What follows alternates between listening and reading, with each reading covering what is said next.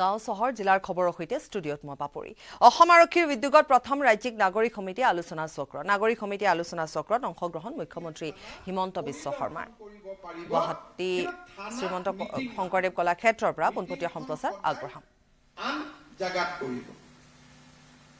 দুই অক্টোবৰৰ মিটিঙৰ পিছত অসম আৰক্ষীয়ে তিনিমাহ পিছত আৰু এটা দিন দি দিব নেক্সট মিটিং কোনদিনা হ'ব আমাৰ মিটিংবোৰ ফিক্স ডেটত হ'ব। এই চাৰিখন মিটিং। আমি একোটা অকেজন লৈ কৰিম কাৰণ আমি বন্ধৰ বাৰত মিটিং কেইখন কৰিব খুজিছো। যাতে কাৰো কাম কাজত অসুবিধা নহয়। কেলেণ্ডাৰ ইভেণ্ট হ'ব যে বছৰত চাৰিখন মিটিং হ'ব আৰু চাৰিখন মিটিঙতে অসম পুলিচে আপোনালোকক আপোনালোকৰ স্থানীয় বিষয়ৰ উপৰিও কি আলোচনা কৰিব লাগে? যেনেকে আমাৰ অসম পুলিচত এটা পুলিচ দিৱস হয়। তাৰ পোন্ধৰ দিন আগতে থানা কমিটিৰ মিটিং হ'ব যে এইবাৰ পুলিচ দিৱসটো আমি কেনেকে পালন কৰিম। এই ধৰণৰ আমি একোটা দিনৰ লগত সংগতি ৰাখি আপোনালোকক কেলেণ্ডাৰখন বনাই দিম যে চাৰিখন মিটিং। আৰু এই মিটিঙত আপোনালোকে স্থানীয় ৰিভিউ কৰিব যে কিমান পাৰ্মিশ্যন আহিল কিমান দিলো এক্সিডেণ্টৰ কিমান কেছ আহিলে কিমান এন অ' চি দিলো কিবা থানাত কাগজ পেণ্ডিং হৈ আছে নেকি পাছপৰ্টৰ কাম? মই থানা কমিটিৰ সভাপতিসকলক আজিয়ে কৰ্তৃত্ব দিছো যে যিমান জনসাধাৰণৰ সেৱাৰ লগত জড়িত বিষয় আপোনালোকে অচিক সকলো প্ৰশ্ন কৰিব পাৰিব। খালি কেছৰ প্ৰশ্ন নকৰিব তদন্তৰ প্ৰশ্ন নকৰিব পাছপৰ্ট ভেৰিফিকেশ্যন এক্সিডেণ্ট ইঞ্চুৰেঞ্চ যিমান প্ৰশ্ন আছে তাৰ লিষ্টখন আমি আপোনালোকক দি দিছো নটিফিকেশ্যনখনৰ কপি আপোনালোকক আমাৰ পুলিচ আৰক্ষী আজিৰ সভাৰ শেষ হোৱাৰ আগতে দিব যে পষ্টমৰ্টেম ৰিপৰ্ট জমা আছে নেকি এক্সিডেণ্ট ৰিপৰ্ট জমা আছে নেকি ইঞ্জুৰি ৰিপৰ্ট জমা আছে নেকি ভেহিকল ইঞ্চুৰেঞ্চৰ ক্লেইম জমা আছে নেকি মেডিকেল ৰিপৰ্ট পৰি আছে নেকি এফ আই আৰখন ফাইল হ'ল নে নাই? ইমান। তাৰপিছত এন অ' চি আছে নে নাই? কিবা চুৰি বস্তু সংগ্ৰহ কৰাৰ পিছত মোবাইলটো ৰাখি থলে নে মালিকক ঘূৰাই দিলে এইটো চাব পাৰিব। থানাৰ আগত যান বাহন বিলাক কিয় জমা হৈ আছে সেইবিলাক চাব পাৰিব। ক্লিয়াৰেঞ্চ চাব পাৰিব ভেৰিফিকেশ্যন চাব পাৰিব। এই গোটেই কিমান আমাৰ চাব আমি পাৰিম এই গোটেইখিনি আছে। ডাঙৰ এটা অধিকাৰ আছে যে ভি ডি পি আপোনালোকে সলনি কৰিব পাৰিব। The Thana level committee will assess the effectiveness of current VDPs, recommend changes if nece- necessary to improve community safety, will oversee the implementation of approved changes of the VDP, ensuring they are effective and meet the community needs.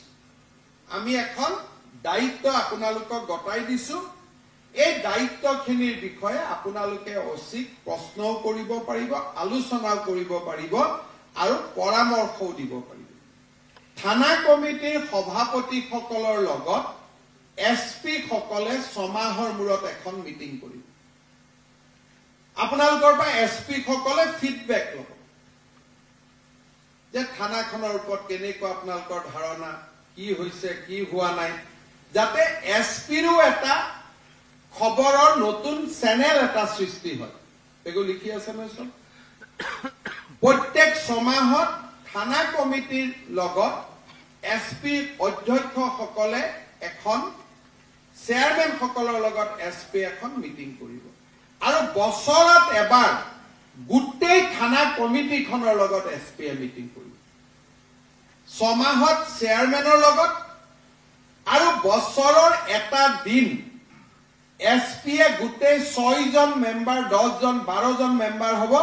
বাৰজন member তলত দহখন থানা এশ বিশ জনৰ লগত পৃথকে পৃথকে বা একেলগে বছৰত এবাৰ এছ পিজনে আপোনালোকৰ লগত কথা পাতিব এবাৰ সকলোৰে লগত আৰু ছমাহত অকল চেয়াৰমেনসকলৰ লগত। আমি আপোনালোকৰ ফোন নম্বৰসমূহ আজি সংগ্ৰহ কৰি ল'ম। আমাৰ পুলিচ হেডকোৱাৰ্টাৰৰ পৰা আপোনালোকৰ লগত যোগাযোগৰ বাবে আমি এই ফোন নম্বৰসমূহ সময়ে সময়ে ব্যৱহাৰ কৰিম। আৰু আপোনালোকক আমি অনুৰোধ কৰিম যে পাৰিলে ইমেইল আই ডি এটা আপোনালোকে ক্ৰিয়েট কৰি ল'ব যাতে বিভিন্ন ধৰণৰ চৰকাৰী ৰিকুৱেষ্টসমূহ আমি আপোনালোকক ইমেইল আই ডিৰ জৰিয়তে পৰিৱৰ্তন হৈছে কি হৈছে কি কথা হোৱা নাই চৰকাৰী নীতি নিৰ্দেশ আমি জনাব পাৰিম।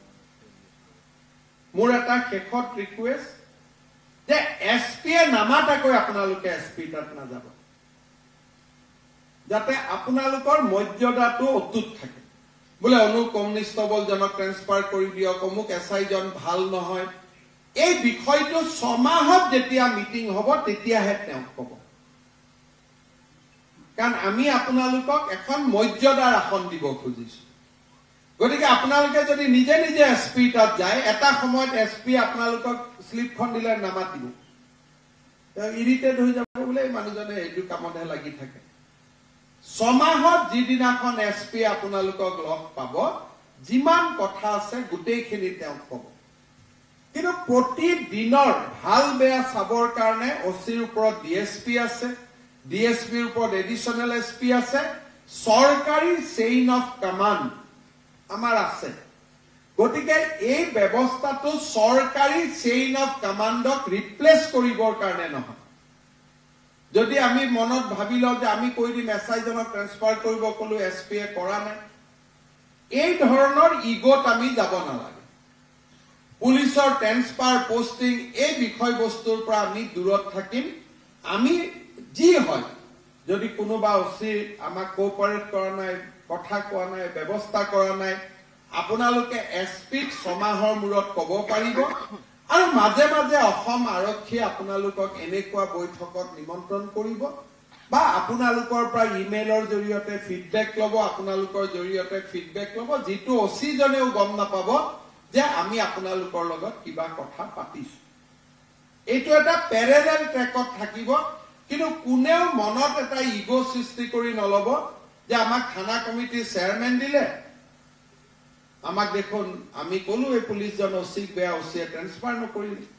এই ধৰণৰ ইগ' যদি আমি কাল্টিভেট কৰো তেতিয়াহ'লে নোহোৱা হৈ যাব।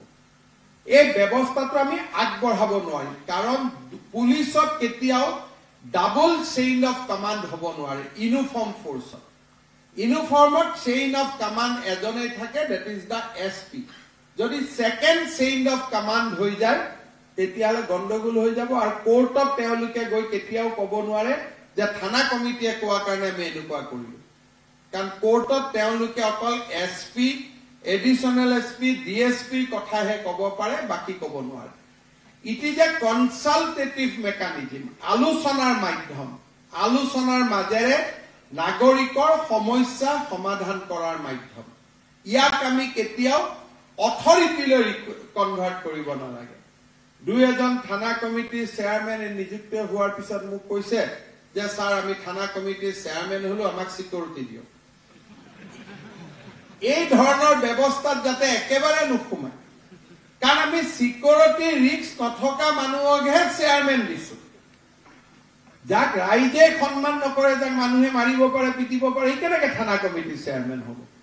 গতিকে চিকিউৰিটি টিকিউৰিটিৰ যাব নালাগে আৰু আপোনালোকে জানে যে ময়ো বিজেপিক মাজে মাজে কৈ থাকো মোৰ পৰাও বিলাক লৈ যাওঁ কাৰণ পুলিচৰ কাম মানুহক চিকিউৰিটি থকা নহয় বিশেষ পৰিস্থিতিত আমাক চিকিউৰিটি দিয়ে। মইতো DGP S B A D G পিৰ লগত মোৰ কাজিয়াই লাগি থাকে যে চিকিউৰিটি কমাক চিকিউৰিটি কমাক। কাৰণ চিকিউৰিটিয়ে আমাক ৰাইজৰ পৰা দূৰত লৈ যায়। ময়ো এটা দিনলৈ ৰখিছো অহা তিনি চাৰি বছৰ। যি দিনাখনেই দুই এটা এক্সট্ৰিমিষ্ট অৰ্গেনাইজেশ্যন বা যি ধৰণৰ শব্দ নকক আছে সেইবিলাক ঘূৰি অহা দিনাখনে মন্ত্ৰী চি এমৰো চিকিউৰিটি উদ্ৰ হৈ যাব লাগে। কাৰণ আগত আমাৰ গোলাপ বৰবৰাহঁতে জীপতে ঘূৰিছিল চিকিউৰিটি টিকিউৰিটি নাছিল। আৰু আমিও তেনেকুৱা এটা পৰ্যায়লৈকে যাব লাগে। আজি আমি বাধ্যত যাব পৰা নাই। মই প্ৰায় পুলিচক সুধি থাকো। মই চি এম নোহোৱা দিনাখন মোক চিকিউৰিটি দিব জানো তেতিয়া কি হ'ব? সেইকাৰণে এই চিকিউৰিটিটো এটা অশান্তি ই শান্তি নহয়। গতিকে যি দুই এজনে মোক হোৱাটছআপ দিছিলে তেওঁলোকক মই হোৱাটছআপত উত্তৰটো দিয়া নাছিলো। আজিয়ে মই ৰাজহুৱাকৈ উত্তৰ দিলো যে ইয়াত যাতে আমি চিকিউৰ মোক সিদিনাখন এজনে দিছে ছাৰ মোৰ থানাখনে বহুত ড্ৰাগছ ধৰি আছে মোৰ চিন্তা হৈ আছে মোক চিকিউৰিটি দিয়ক। সেইটোতো অশান্তি হ'ব আমাৰ কাৰণে। গতিকে এই ধৰণৰ যাতে কথা বতৰাৰ পৰা আমি দূৰত থাকো ই এটা ছচিয়েল ইনিচিয়েটিভ ই এটা citizenship initiative it is a civil society initiative নাগৰিকৰ এটা আমি অধিকাৰ হিচাপে আপোনালোকক আমি আগবঢ়াই দিছো। নাগৰিকসকলে আপোনালোকৰ হৈ নাগৰিকৰ হৈ আপোনালোকে কথা পাব পাতিব। You are citizen you are not government আপোনালোকে নাগৰিক কমিটি অৰ্থাৎ নাগৰিকক প্ৰতিনিধিত্ব কৰিব চৰকাৰক প্ৰতিনিধিত্ব নকৰিব they is a fine balance মই যেতিয়া কথা কওঁ মই চৰকাৰৰ হৈ কথা কওঁ মই নাগৰিকৰ হৈ কথা ক'ব নোৱাৰো। ডিজিপিয়ে যেতিয়া কথা কয় চিফ ছেক্ৰেটাৰীয়ে কথা কয় he speaks on behalf of the government কিন্তু আপু you will not speak on behalf of the government আপোনালোকে নাগৰিকৰ কাৰণে কথা পাতিব নাগৰিকৰ হৈ কথা পাতিব আৰু সেইকাৰণে this is a citizen initiative of Assam police মই পুনৰবাৰ আজি আপোনালোকে ইয়াত আহি যি বহুমূলীয়া সময় আমাক দিলে তাৰ বাবে ধন্যবাদ জনাইছো। মই এই মিটিংখন এবছৰ মানৰ পৰাই কৰাৰ চিন্তা কৰি আছিলো কিন্তু আমি গোটেইখিনি থানাত সভাপতিসকলক সুন্দৰভাৱে নিযুক্তি দিব নোৱাৰাৰ কাৰণে সভাখন কিছু পলম হৈ গল। কিন্তু দুই অক্টোবৰৰ পৰা আমি অসমত পূৰ্ণ গতিত থানা কমিটিৰ জৰিয়তে নাগৰিক আৰু পুলিচৰ সম্পৰ্ক সুদৃঢ় কৰাৰ বাবে নিৰবিচ্ছিন্নভাৱে কাম কৰি যাম। মই অচিসকলক অনুৰোধো কৰিম আৰু নিৰ্দেশো দিম। আৰু এয়া আছিলে কলাক্ষেত্ৰৰ পৰা পোনপটীয়া সম্প্ৰচাৰ। আমি অন্য খবৰৰ মাজলৈ যাম। ক্ৰীড়া জগতৰ পৰা ৰাজনীতিৰ পথাৰত নমা মল্ল যুঁজ আৰু বিনেশ ফগাটে হাৰিয়ানাৰ পৰা নিৰ্বাচন খেলিব। হাৰিয়ানা বিধানসভা নিৰ্বাচনত জুলানা বিধানসভা সমষ্টিৰ পৰা কংগ্ৰেছ দলৰ প্ৰাৰ্থী হিচাপে মল্ল যুঁজাৰু বিনেশ ফগাটে নিৰ্বাচনত অৱতীৰ্ণ হ'ব। শুকুৰবাৰে কংগ্ৰেছৰ কেন্দ্ৰীয় নিৰ্বাচন সমিতিৰ বৈঠকত বিনেশ ফগাটৰ নাম চূড়ান্ত কৰা হয়। ক্ৰীড়াৰ ইনিংছ সামৰি ৰাজনীতিৰ পথাৰত ভৰি দিয়াক লৈ মল্ল যুঁজাৰু বিনেশ ফগাট ব্যাপক চৰ্চাত আছে। ৰাজনীতিত যোগদান কৰিয়ে খেলুৱৈসকলৰ অধিকাৰৰ হকে কাম কৰি যাব বুলি মন্তব্য কৰিছিল বিনেশ ফগাটে। ইফালে ভাৰতীয় মল্ল যুঁজাৰু সন্থাৰ বিতৰ্কিত সভাপতি তথা বিজেপি নেতা সাংসদ ব্ৰিজভূষণ চৰণ সিঙৰ বিৰুদ্ধে চলি থকা যৌন নিৰ্যাতনৰ গোচৰৰ কথা উল্লেখ কৰি কয় যে খেলুৱৈসকলৰ চকুপানী কংগ্ৰেছ দলেহে বুজি পাইছিল। ইফালে আন এজন মল্ল যুঁজাৰু বজৰং পুনিয়াইও একেলগে কংগ্ৰেছত যোগদান কৰিছিল। যদিও এতিয়ালৈকে বজৰং পুনিয়াৰ টিকটৰ সম্পৰ্কত কোনো তথ্য প্ৰকাশ কৰা নাই কংগ্ৰেছ দলে। ইফালে বিনেশ ফগাটে কংগ্ৰেছ দলত যোগদান কৰাৰ পাছতে প্ৰথমটো প্ৰতিক্ৰিয়া প্ৰকাশ কৰিছে ব্ৰিজভূষণ চৰণ সিঙে। কংগ্ৰেছ দলক আক্ৰমণ কৰি ব্ৰিজভূষণ চৰণ সিঙে কয় যে মল্লযুঁজাৰুসকলে তেওঁৰ বিৰুদ্ধে কৰা আন্দোলনৰ আঁৰত প্ৰকৃততে কংগ্ৰেছ আছিল। তেওঁৰ বিৰুদ্ধে ষড়যন্ত্ৰ ৰচিছিল কংগ্ৰেছে। দুহেজাৰ তেইছ চনৰ জানুৱাৰী মাহৰ প্ৰতিবাদ সি ক্ৰীড়াবিদৰ আন্দোলন নাছিল। এই মন্তব্য কৰে ব্ৰিজভূষণ চৰণ সিঙে।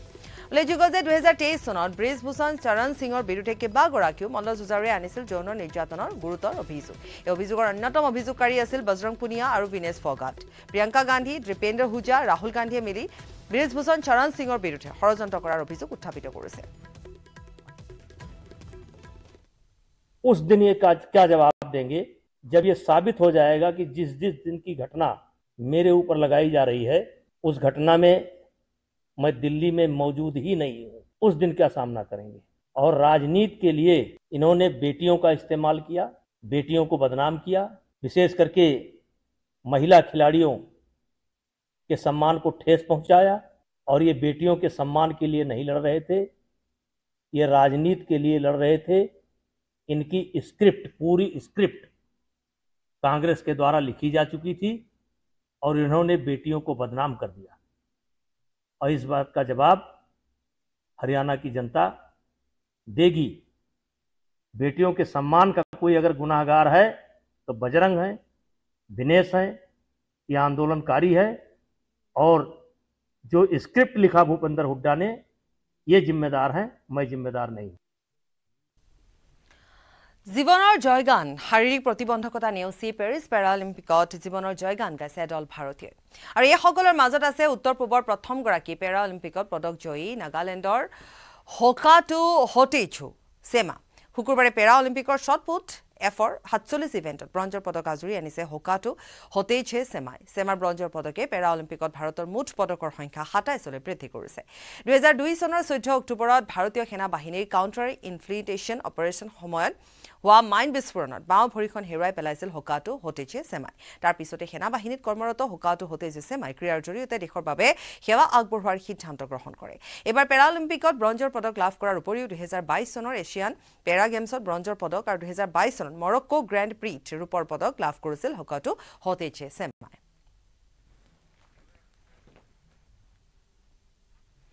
খবৰ আৰু আছে সময় বিৰতি।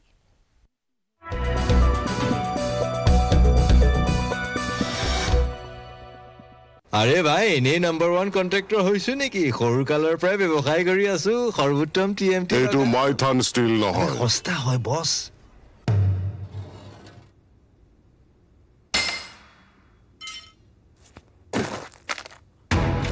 ষ্ট্ৰং মানে? মাইথন ষ্টীল ঠিক প্ৰতিবেদন। আগন্তুক বহাগ বিহুৰ পূৰ্বে কাৰ্যকৰী হ'ব বিপ্লৱ শৰ্মা কমিটিৰ সাতাৱন্নটা পৰামৰ্শ।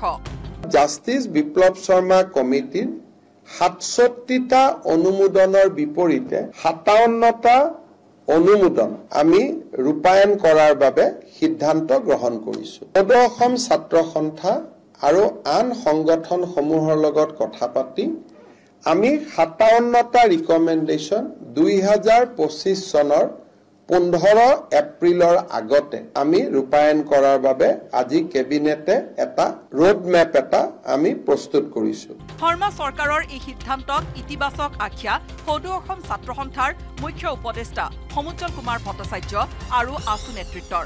যিখিনি পৰামৰ্শ অসম চৰকাৰৰ আওতাত পৰে।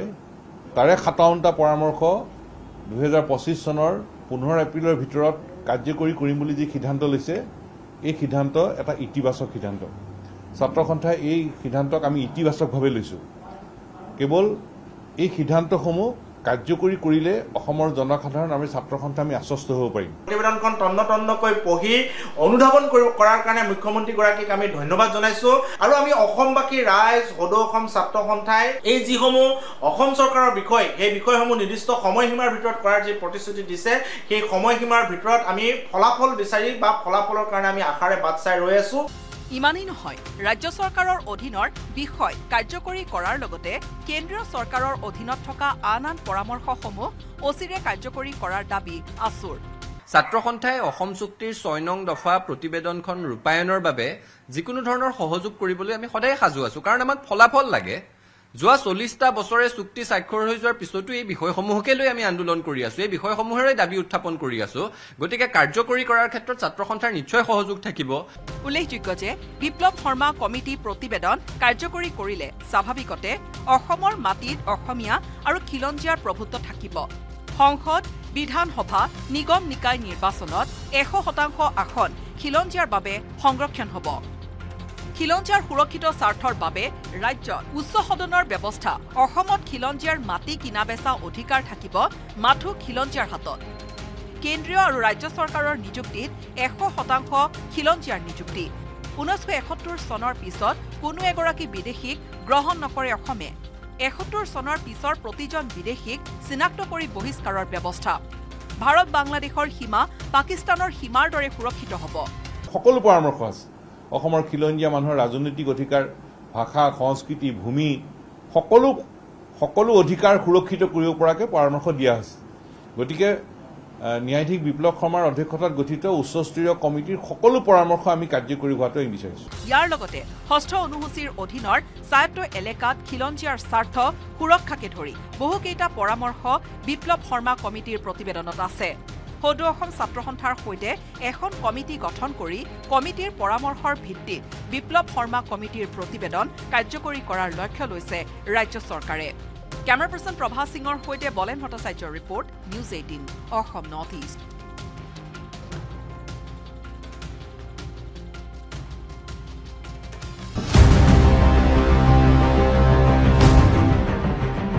কৰিবলৈ।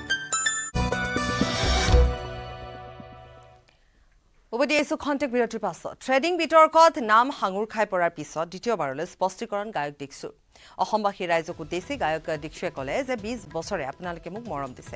মোক বিশ্বাস কৰক মই আগতেও কোনো বেআইনী কাম নাই কৰা আৰু এতিয়াও কৰা নাই ভৱিষ্যতেও নকৰোঁ। মোৰ গাড়ী তথা অন্য সম্পত্তি বেলেগ উপহাৰ দিয়া বুলি একাংশই সংবাদ মাধ্যমত প্ৰচাৰ কৰিছে। কিন্তু মোক কোনোৱে গাড়ী উপহাৰ হিচাপে নাই দিয়া। নিজৰ সামৰ্থ্য অনুযায়ী গাড়ী ক্ৰয় কৰা বুলি উল্লেখ কৰিলে দীক্ষুৱে।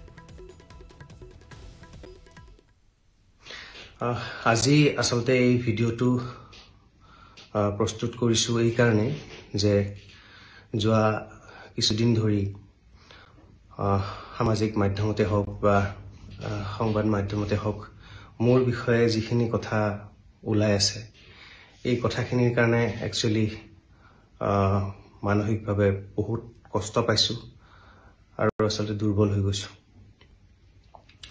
মই ৰাইজলৈ বিনম্ৰভাৱে এইটোৱে অনুৰোধ কৰিব খুজিছোঁ যে যোৱা বিছটা বছৰে যেনেকৈ আপোনালোকে মোক মৰম আৰু বিশ্বাস কৰিছে সেই বিশ্বাস আৰু মৰমখিনি যাতে মোৰ ওপৰত আপোনালোকে সদায় ৰাখে কিয়নো মই আগতেও কেতিয়াও বেআইনী কাম কৰা নাছিলোঁ এতিয়াও মই কৰা নাই আৰু ভৱিষ্যতেও মই নকৰোঁ।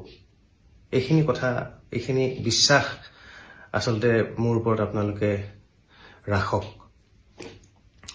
আৰু আৰু এটা কথা ওলাই আছে যে মোৰ কিবা গাড়ী বা মোৰ সম্পত্তি কিবা উপহাৰ পোৱা বুলি।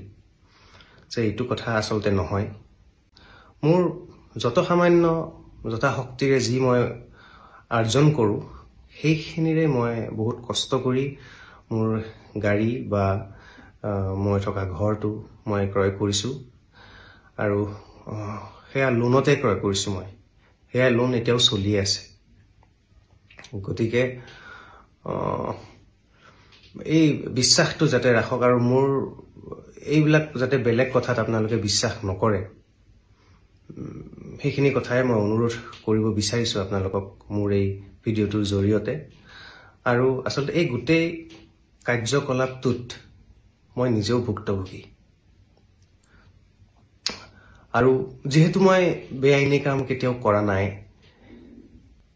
আইনৰ যিটো প্ৰক্ৰিয়া আছে যিটো প্ৰক্ৰিয়াত অনুসন্ধান চলি আছে সেই অনুসন্ধান প্ৰক্ৰিয়াটোত সকলো ক্ষেত্ৰতে মোৰ সৰ্বতো প্ৰকাৰে সহযোগিতা থাকিব বুলি মই বদ্ধপৰিকৰ। যিকোনো কোঅপাৰেশ্যন মই লাগিলে কৰিম মোৰ ফালৰ পৰা যিহেতু মই একো বেয়া কাম কৰা নাই এইখিনি সৎসাহস মোৰ আছে।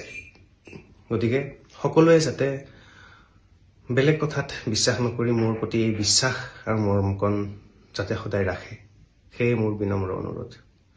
ধন্যবাদ। ইয়াৰে সৈতে বাতৰি লৈছো নমস্কাৰ।